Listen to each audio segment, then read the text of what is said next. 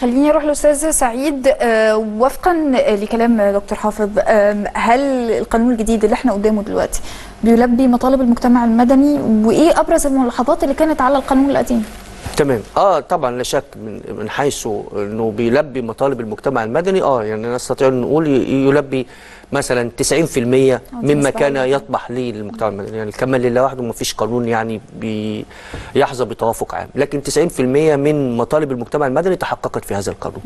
بس أنا بصراحة مش عاوز أقارن قوي بين القانون 70 والقانون ده لأنه في اختلاف كبير. يعني زي ما الدكتور حافظ يعني القانون 70 يعني إحنا نعتبره صفحة وطويت لأنه في الحقيقة كان يعني كان في كان في إيجابيات وكان في سلبيات لكن سلبياته كانت كبيرة لدرجة إنه لم يحظى لا بتوافق داخلي ولا خارجي. فيعني المق- المقارنة ظالمة آه للقانون الحالي، القانون الحالي ليس له علاقة بالقانون القديم والدليل على كده إنه حتى في الحوار المجتمعي إحنا كنا بنعدل في القانون فالحكومة فاجئتنا وعملت قانون جديد. يعني ال- ال- الحكومة نفسها أمنت أن هذا القانون لا يصلح لتعديله ولكن الأقدر أن يكون هناك قانون جديد.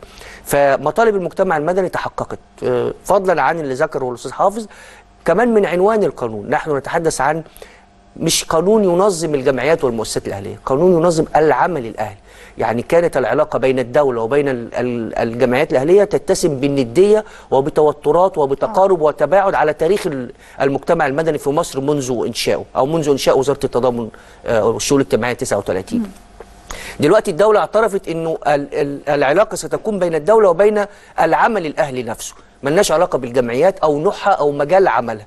فالعمل الأهلي أصبح الآن بحكم القانون الجديد لديه مساحة واسعة من العمل وتحقيق أهدافه والقيام بأدائه والجوهري اللي هو إيه؟ مشاركة الدولة في التنمية لن يستطيع العمل الأهلي أن يشارك الدولة في التنمية من دون استقلال هذا المجتمع أو هذا ال ال الكيان عن الدولة لن يستطيع أن يحقق أهدافه من دون أن تكون هناك علاقة تتسم بالاحترام المتبادل بين الدولة في المية استقل هذا المجتمع بالقانون الجديد؟ 90% آه.